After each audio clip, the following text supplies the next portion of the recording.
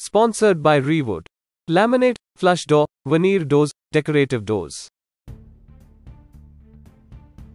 वारंगल शहर के ऐतिहासिक श्री भद्रकाली मंदिर में आयोजित शाकंभरू महोत्सव के बारहवें दिन विजय के बाला क्रम में देवी को सजाकर विशेष पूजा की बताया जाता है कि इस क्रम में देवी के दर्शन करने वालों का आशीर्वाद प्राप्त होता है धन और सुख और उनकी मनोकामनाएँ पूरी होती हैं तेलंगाना वरंगल नव भारत समाचार से कैमरामैन महेंद्र के साथ अक्रम की रिपोर्ट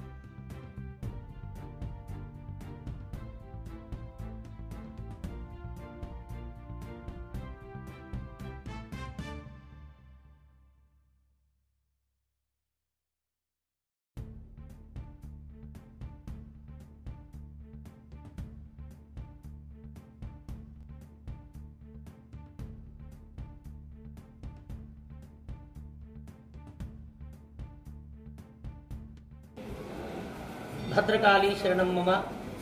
శాకాంబరీం స్తువన్ ధ్యాయన్ జపన్ సంపూజయన్నమన్ అక్షయమస్మృతే శీఘ్రమన్నపానామృతం సృష్టిలో ఈ జగత్తులో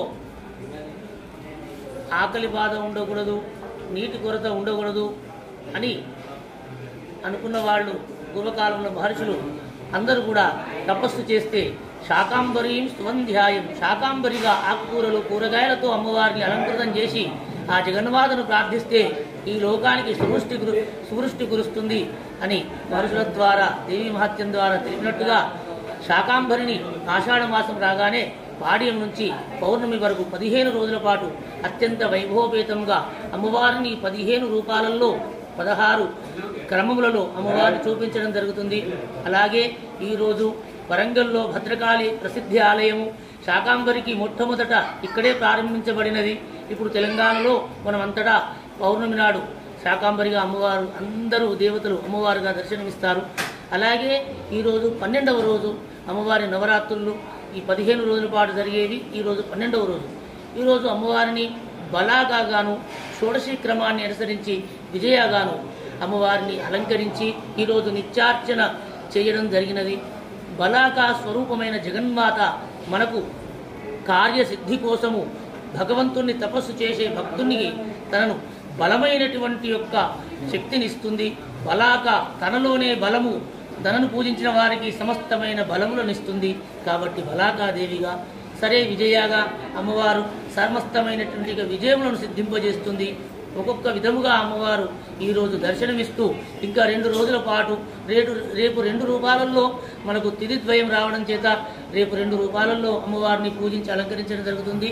అలాగే వ్యాస పౌర్ణమి పదమూడవ తారీఖు నాడు అమ్మవారు పున్నమి నాడు సమస్తమైన ఆకుకూరలు కూరగాయలు తన యందు కంట మాలలుగా చేరి పూలవలే అమ్మవారి మెడలో అలంకృతమవుతాయి.